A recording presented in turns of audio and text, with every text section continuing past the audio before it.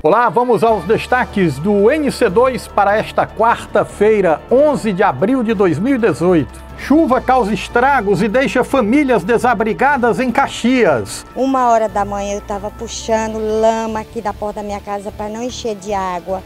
E foi muita água, foi muito terrível. Defesa Civil alerta moradores de áreas de risco devido a enchentes e alagamentos na cidade. Em caso de necessidade, ligue 3421 8513.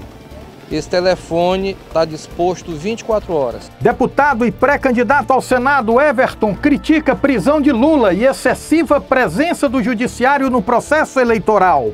Não teve nada concreto, tudo ilação, suposição, achismo. Hospital Regional faz balanço positivo após a instalação da unidade de tratamento contra o câncer. Já conseguimos é, diagnosticar vários casos e esses casos todos já estão em tratamento, ou em radioterapia ou em quimioterapia. Daqui a pouco, no Jornal Notícias de Caxias, segunda edição.